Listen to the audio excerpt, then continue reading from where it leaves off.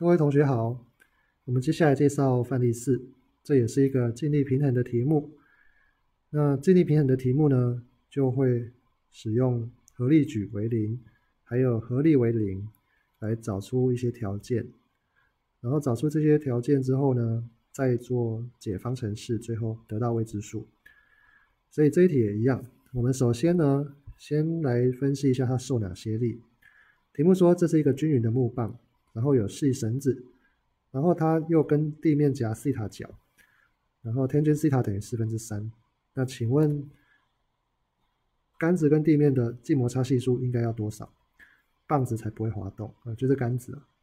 那首先呢，它有受到什么力呢？应该有受重力，而重力我们可以视为在重作用在重心的位置，因为我们可以撑住重心，就撑住全部。所以就好像在重心那一点有向下的整体的重量，那再来就是有受到绳子的张力哦，绳子的张力是向向着绳子，沿着绳子，然后一定是拉力，不会是推力，还有跟地面之间的挤压的正向力，跟地面之间挤压的正向力。那最后呢？题目有问到静摩擦系数，那就自然有摩擦力，而且应该是最大静摩擦啊，最大静摩擦才会有静摩擦系数啊。所以最后一个是最大静摩擦力，就这四个力。那我们来分析一下它的合力为零。首先是 y 方向的合力为零，y 方向的合力为零。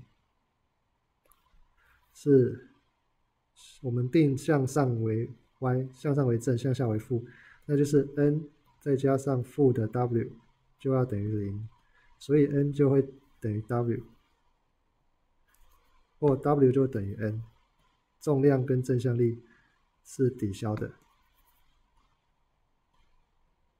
那 x 方向呢？啊，x 方向也是向右为正，向右的最大静摩擦力。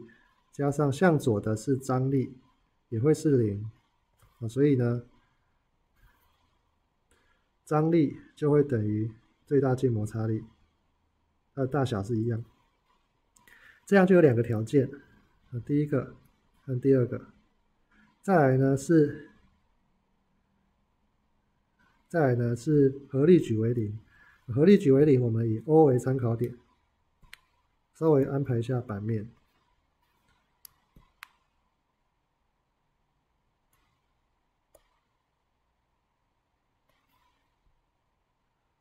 呃，那以 O 为参考点的好处就是，以 O 为参考点的好处就是，有两个力不会有力臂，这两个力就会是 N 还有最大静摩擦力，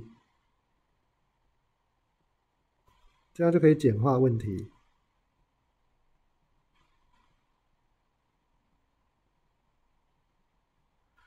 那只剩下哪两个例举呢？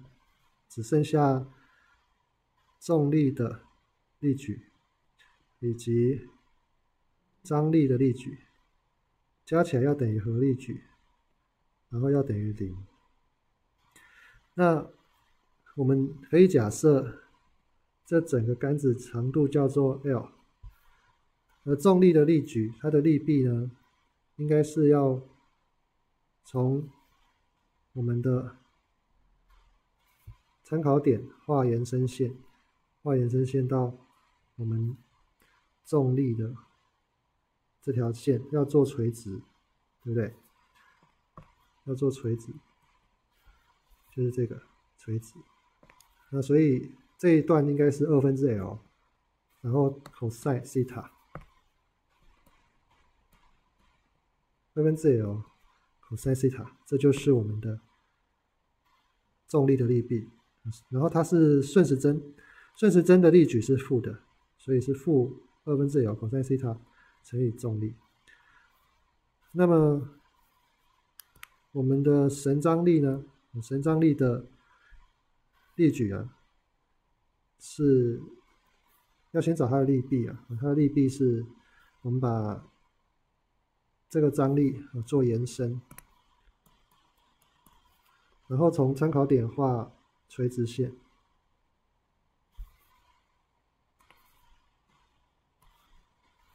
这个就是我们的，换个颜色好了。从参考点哦，画垂直线。这个就是我们的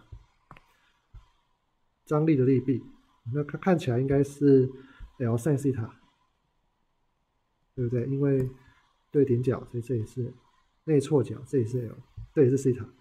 那 L sin 西塔就是这个浅蓝色的。也就是张力的力臂，然后它是正的，因为它是逆时针，L 三西塔乘以 T，这就是第三个条件。那第三个条件经过整理，可以整理为二分之一 cos 西塔乘上重力，就会等于 sin 西塔乘上张力。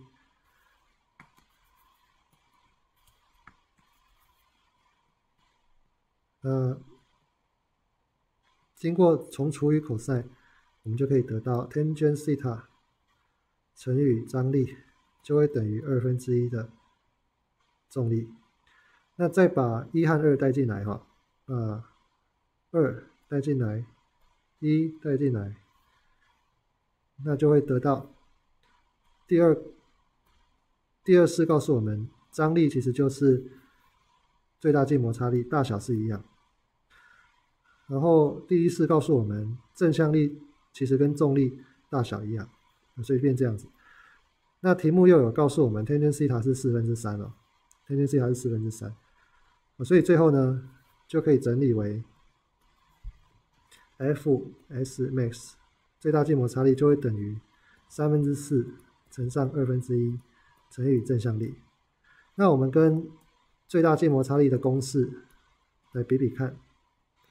那就知道说，原来最大静摩擦力它是静摩擦系数乘以正向力，所以原来这个静摩擦系数就是三分之二。这就是这题的做法，有一点难啊，因为它要有三个条件，这个第三个条件是这样，然后再经过解联立方程啊，解那个一元一次方程吧，啊，这应该是有几个未知数要解。但是只要列出它的条件之后，就剩下来就是数学而已。它的物理只到合力为零，合力为零，合力矩为零就没有了。